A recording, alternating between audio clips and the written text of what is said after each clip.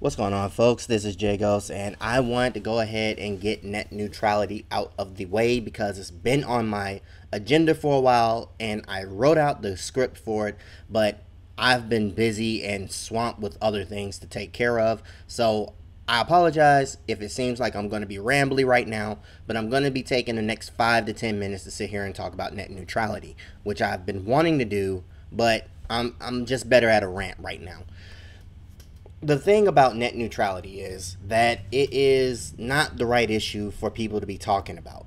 If you're talking about net neutrality, you're talking about a lot of rules and regulations. And we live in a capitalist society almost everywhere.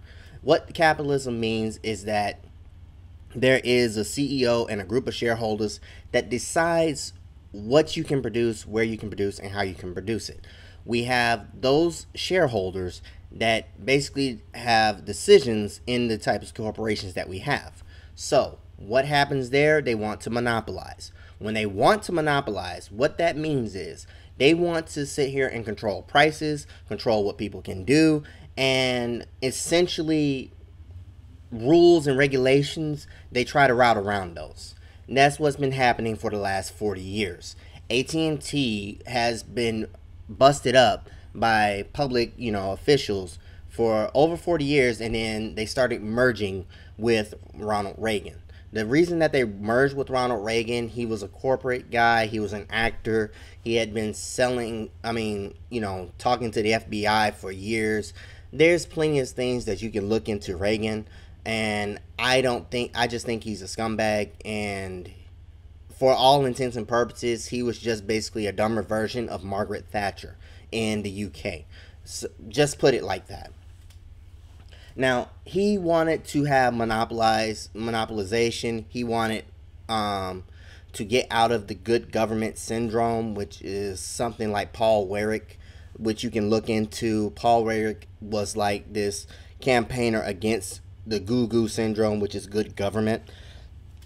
But the point here is that he allowed banks to get bigger. He allowed everything to get bigger, saying that monopolization actually helps American the American public.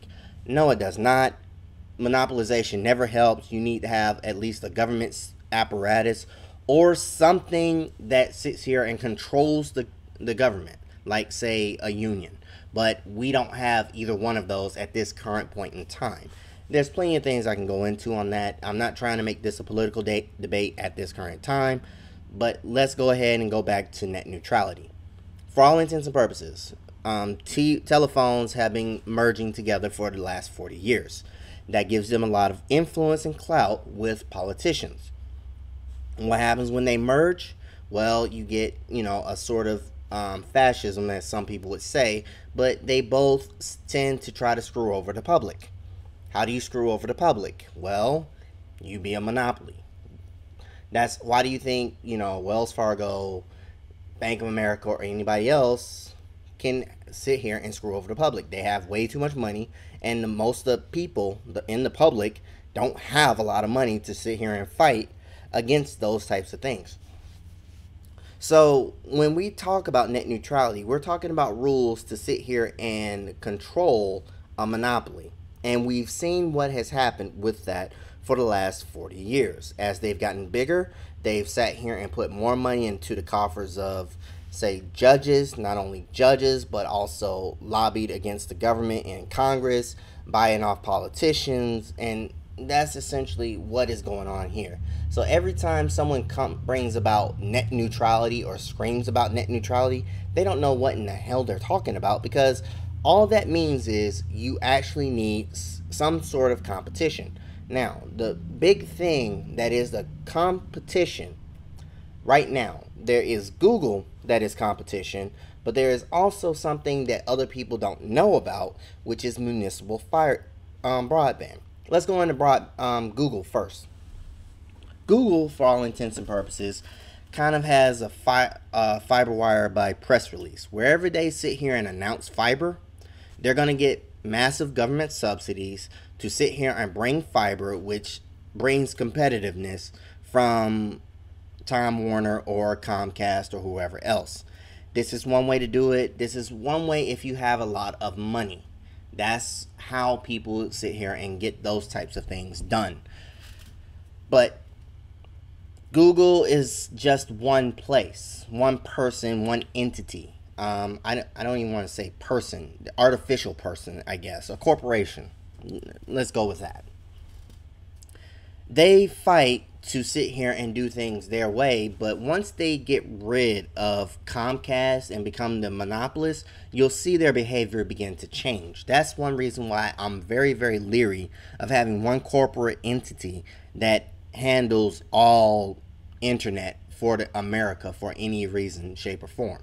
Now, do I believe in the government doing it? Yes, because they won't have that for profit motive.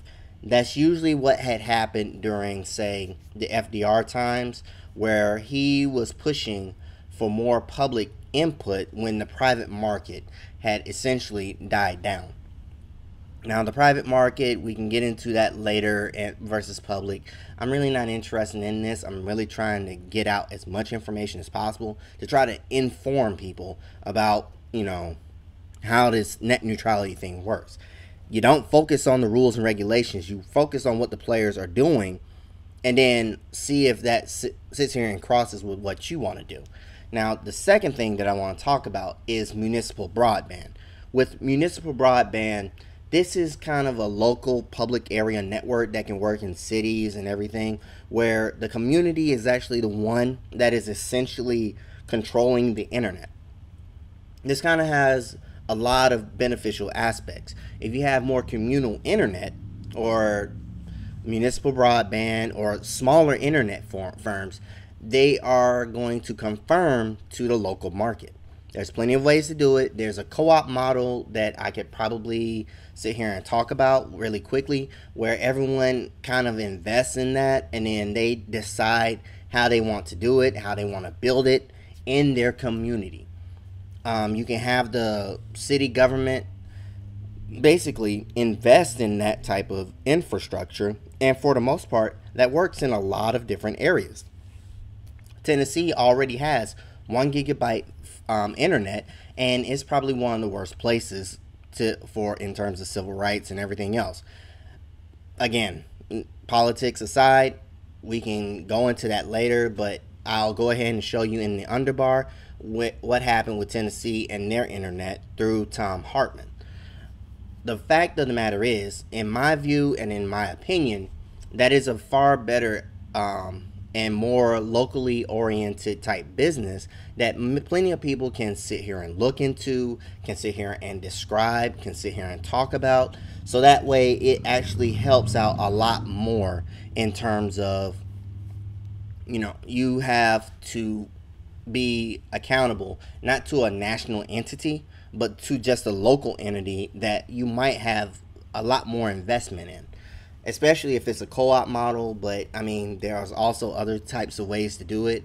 Um, what AT&T was actually fighting against in Wisconsin was the WiscNet, um, and I can have a link in the underbar for you for that, where basically there was this great internet service that worked for the state, but Scott Walker essentially destroyed it at the behest of AT&T.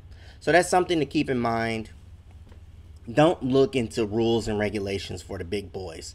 Sit here and make them piss their pants. If they have competition, if they have the government going against them, you know, talking about their collusion as right now Time Warner and Comcast want to really essentially um, put their own merger in place and then get bigger so they can screw over more people and make more money off of the misery of other people that is something that we have to avoid and try to take care of. So that's something that I wanted to present to you all. If you all like these types of stories about, you know, politics and everything else, I can possibly go more into it. The fact of the matter is, stop talking about net neutrality. That's a false statement and a false argument. It's not what the issue is. The issue, the one thing that we should be trying to solve, the one thing that we need to sit here and do more for is to increase the competition. And you only do that in my view is if you have local internet that works for you that works for the people around you instead of going to just the national entities which is a fight that not a lot of people on can win, except maybe the Googles, Yahoos, and others in that in that field. So, take care, and I'll see you all next time.